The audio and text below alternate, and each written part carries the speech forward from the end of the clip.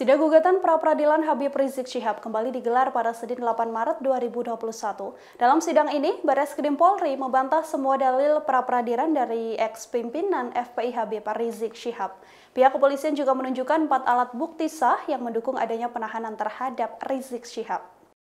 Dikutip dari tribunnews.com, dalam gugatan pra-peradilan ini, kuasa hukum Rizik Syihab mengklaim bahwa polisi tak punya dua alat bukti yang cukup dan sah untuk menahan Rizik menjadi tersangka. Namun pernyataan itu dibantah dengan fakta bahwa penyidik mengantongi empat alat bukti sah saat memproses Rizik Syihab. Alat bukti yang dimaksud Polri antara lain keterangan saksi-saksi, keterangan ahli, dokumen atau bukti surat, dan petunjuk yang saling bersesuaian satu dengan lainnya – Bukti-bukti tersebut juga dikuatkan dengan pertimbangan hakim pada pra-peradilan Rizik sebelumnya. Di antaranya adalah saksi-saksi yang dipilih, yakni mereka yang melihat langsung maupun tak langsung kejadian dan masih relevan dengan dugaan tindak pidana yang terjadi. Bahkan polisi juga memeriksa sejumlah orang dari FPI demi keseimbangan pemeriksaan. Bahkan polisi juga memeriksa sejumlah orang dari FPI demi keseimbangan pemeriksaan. Pihak kepolisian lantas menegaskan bahwa pihaknya menangkap dan menahan Rizik Syihab bukan tanpa alasan. Penyidik mengatakan Rizik tidak kooperatif selama menjalani proses hukum, seperti absen dalam dua kali panggilan pemeriksaan tanpa disertai alasan yang jelas. Bahkan polisi disebut sampai mengeluarkan ultimatum pada Rizik agar menyerahkan diri atau dilakukan upaya paksa penangkapan.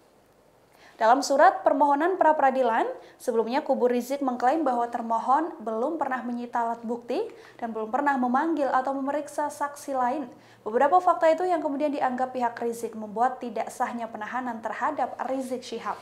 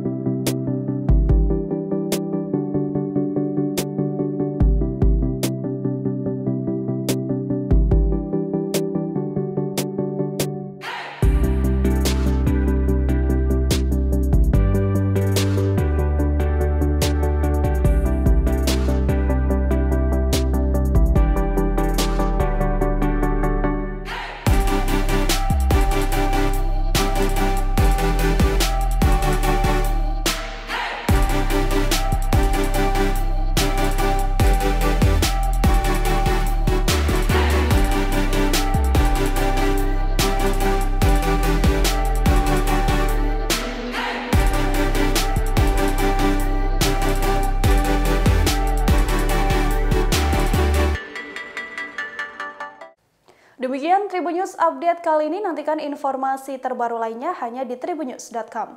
Terima kasih sudah nonton. Jangan lupa like, subscribe, dan share ya.